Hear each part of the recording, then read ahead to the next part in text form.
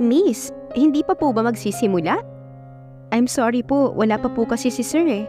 Hingi niya ng paumanhin sa mga aplikante na nagtanong. May inasikaso lang na importante. He's on his way here. Sige po, kahapon pa po kasi kami naghihintay eh. Awkward nang initian niya mga aplikante na nakahilera sa waiting area. Nakapagdahilan nga siyang masakit ang tiyan nang pinapasama siya ni Craig sa lunch pero inilis naman siya kinahapunan. Nagdagsaan ang mga aplikante ngayong araw dahil napilitan siyang pauwiin ang mga ito kahapon. Mabuti na lang at dumating kahapon si Heather mula sa ibang bansa kaya napawi ang pagkabwisit niya. Sir, nasaan na po kayo? Bungad niya ng sagutin ng tawag nito. We're going to Manila, Miss Mijares. Get yourself ready in 10 minutes. Po? Sir, maraming aplikante narito. Pauwiin mo na sila. Ako na lang mag interview sa kanila. Narinig niya ang pag-check nito sa kabilang linya. I instructed my HR to give them 10,000 each for wasting their time. Hindi siya nakaimik nang matansya kung ilang halaga ang magagastos lahat. Is that okay now, Mijares? I don't have time for this. Nga nga ang mga aplikante nang inanunsyo niya ang pagbibigay ayuda ng boss niyang hindi na naman sumipot. Inayos niya ang kanyang mga gamit at tinext si Heather para makiusap na ito muna ang bahala kay Nicholas. Pumayag naman ito dahil miss na miss na raw ang inaanak. Pinanlalamigan si Chandra nang makita kung anong klaseng sasakyan ang naghihintay nang makarating ang sumundong kotse sa pribado at malawak na lupain. Diyan tayo sasakay? Nawala ang poise niya na itinuro ang helicopter. Ayoko sir, hindi naman ako kakailanganin doon.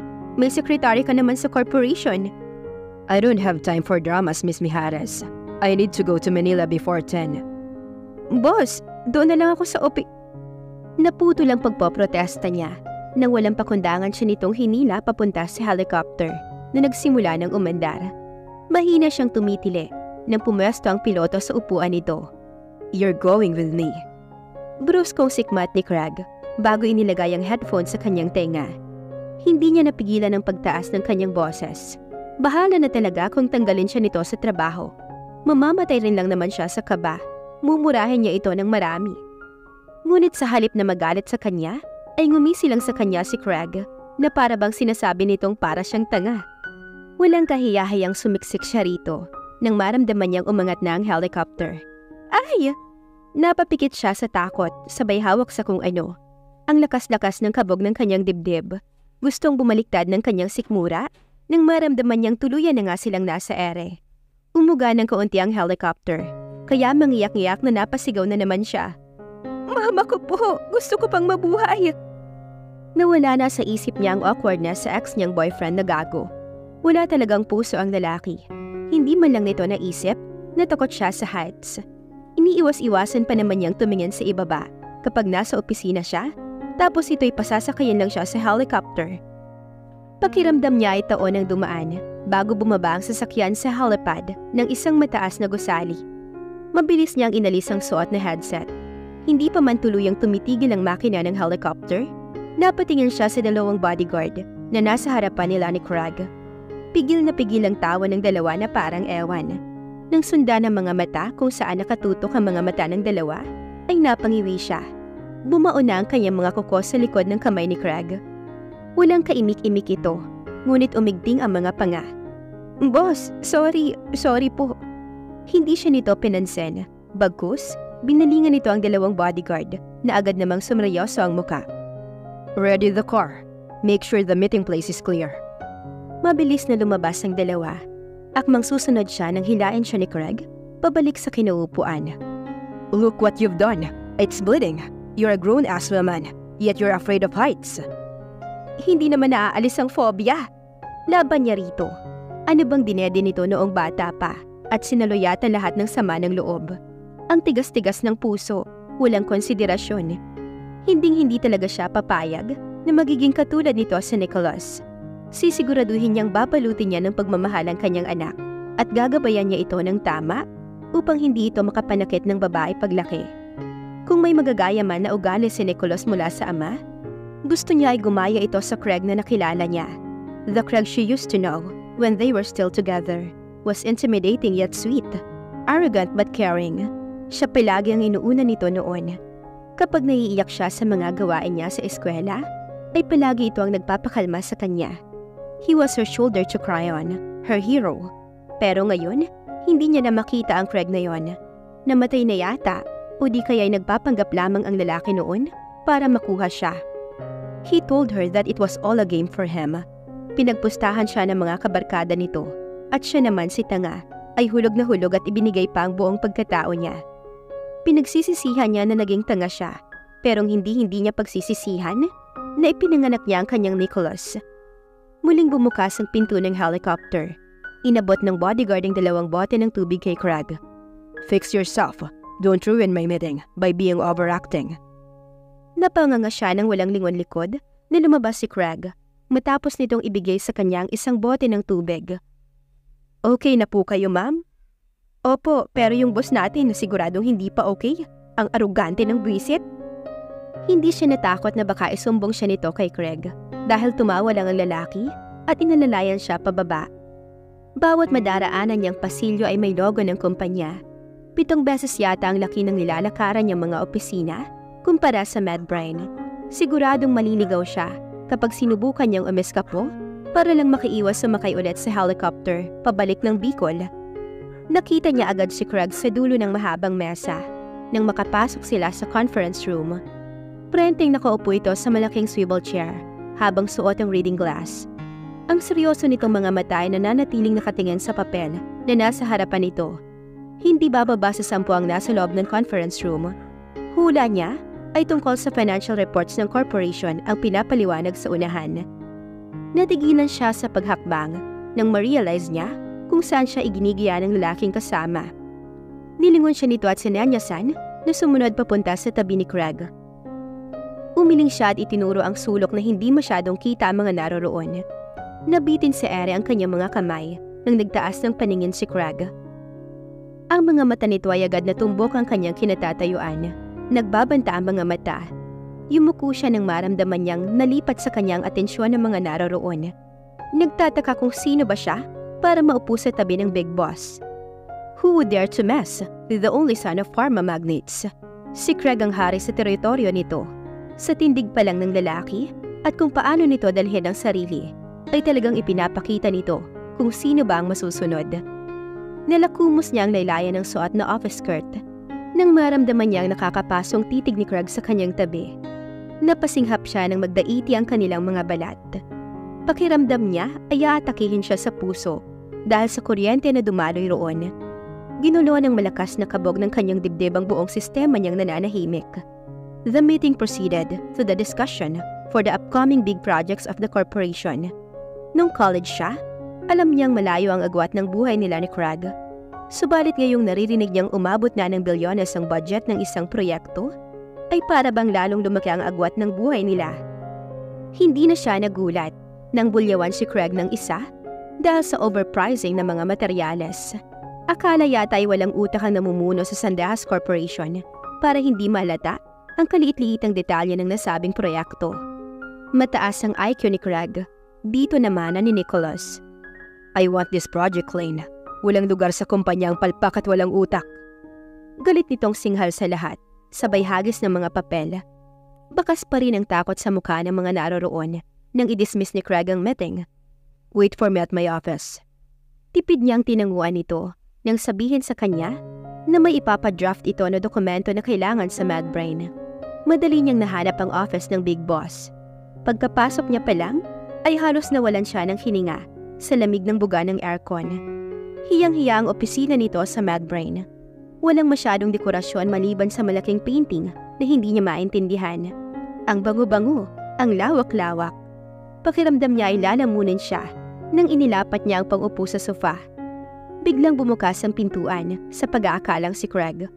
Ngunit natuod siya sa kinatatayuan nang makita ang pamilyar na mukha ng babaeng blondie. Namimilog ang mga mata ni Kathy nang makita siya. Parang nakakita ng multo. Gusto niya na talagang magpalamon sa sofa dahil nagmumukha siyang mistress ngayon. What the hell are you doing here? Sigaw nito sa kanya. Good afternoon po. Tinatanong kita. Galit itong humakbang palapit. Anong ginagawa mo rito? Secretary po ako ni Sir Craig, ma'am. I don't believe you. She looked at her from head to toe with disgust. Hindi ka kukunin ni Craig na sekretarya niya. Desperada ka. Hindi po ako mistress ni Sir, kung yan ang iniisip mo. Inunahan na niya at baka saan pa mapunta. Mapang-insultong tumawa ang babae. Hinawakan siya nito sa braso. Get out of this office. Out of this building. Hindi mo ko kailangang itulak.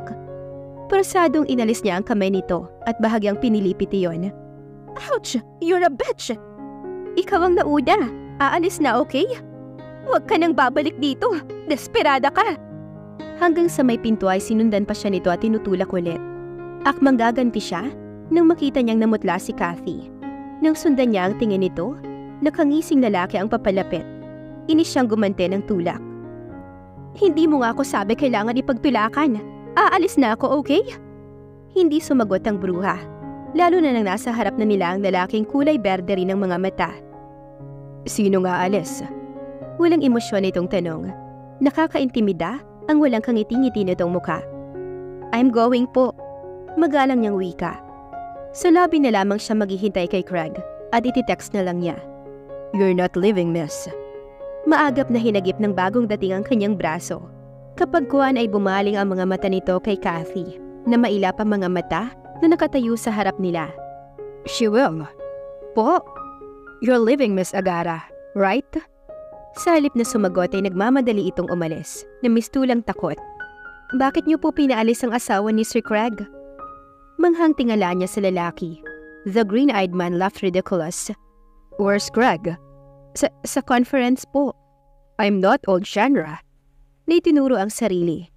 Kilala niyo po ako? Come on, I'll buy you a drink. Craig doesn't know how to keep you. Hinayaan niya itong hilaan siya sa elevator.